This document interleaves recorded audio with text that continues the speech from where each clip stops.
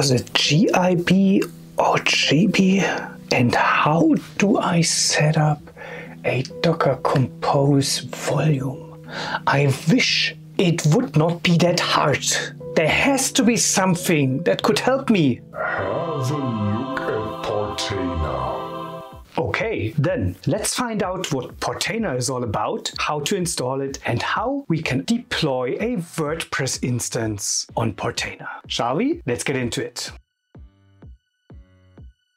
Containers and their development, not to speak of their management, are not that easy to handle. Portainer, which is to be found at portainer.io, provides us with a front end for handling containers. With Portainer, we can define our containers, we can use templates, predefined container stacks, we can use Helm, and we can define our own stack using Docker Compose or Kubernetes deployments. Portainer is able to roll out deployments deployments, regardless of the underlying platform, be it local, be it in our home lab or in the cloud environment of our choice. And as an added benefit, Portainer is also able to work with Docker, Docker Compose, and Kubernetes as well. Portainer itself is available either as open source free community edition or open core paid enterprise edition. Therefore, if you don't want to mess around with Docker files and such, or simply want to have a nifty looking front end at your disposal, you should check out Portainer.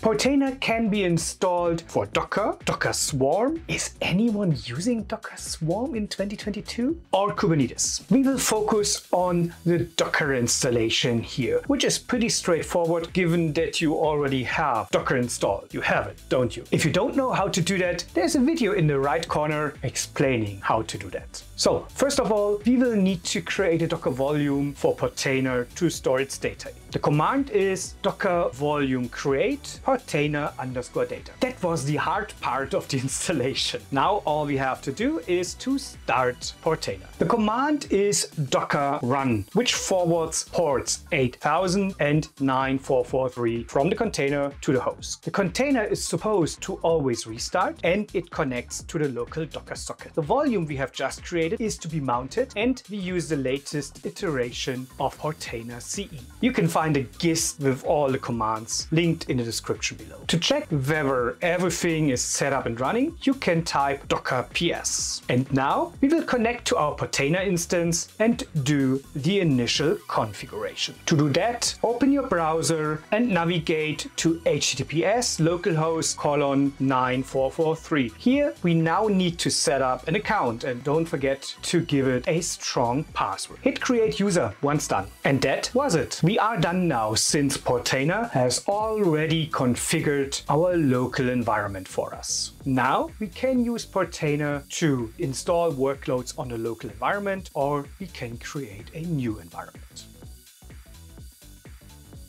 Now, let's roll out WordPress with Portainer. First of all, we log into our Portainer instance. Could be that you have to select the environment you want to work in. Anyways, select App Templates and then search for WordPress. We can now deploy it directly from here, or we can customize the installation by hitting copy as custom. We will go the easy route here and install it the way it was provided to us. Therefore, we just click on the name of the stack and now we have to provide our stack with a name. I go with WordPress here and yes, that's not very creative. Next, we have to define a root password for the database. So we make sure that that is a very secure one. We now click on deploy stack and now we have enough time to enjoy our tea.